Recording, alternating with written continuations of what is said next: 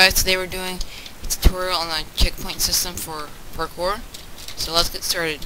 So you're going to get, get a command block, block of your choice, press play or button. You're going to place your thing, use type in slash spawn point, and then one of these nodes or whatever, which I'm doing AA, which is all players. And click done. Then around it, I'm going to pick my block of my choice, to 2. Then I also have my other block choice plus this. If needed to, you can put the command block right here with the button and then the command too. It also works. So if I walk over it, it'll set my spawn point. So let's make some simple parkour. Like so. I will slash. I'll set my spawn point here.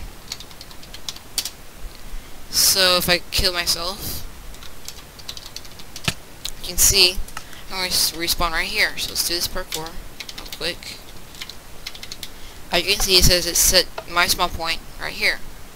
So now if I do go over here, let's just say, slash kill, and respawn, it'll actually respawn me right here.